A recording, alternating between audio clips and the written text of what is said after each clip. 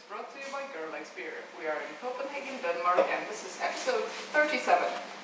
Hi, Rich. Yes, uh, Boki is still with me. Uh, Hi, And we're still in uh, Copenhagen.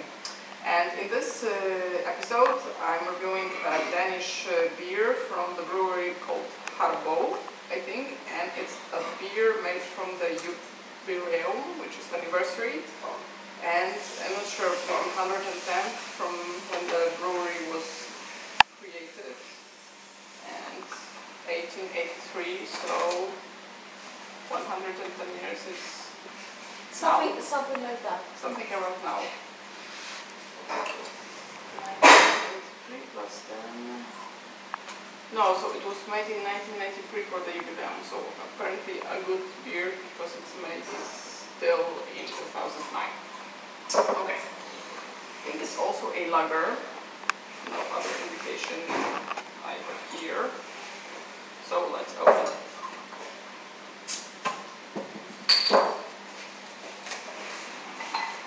Well, by the color and the head, which is white, and the color being It looks yellow, it's probably a lager. Mm-hmm. So let's uh, smell it. I would say it's smellless. Smellless, Yes. Would you agree? like a water with beer. Okay. So let's see how it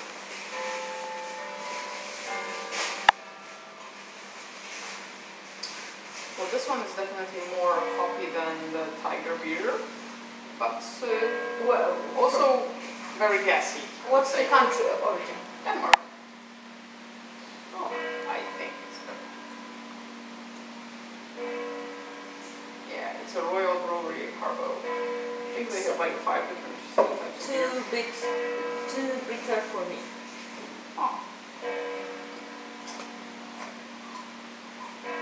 Definitely more bitter than Tiger, but I think worse overall in uh, in taste. So I think just three beer marks, maybe even just two.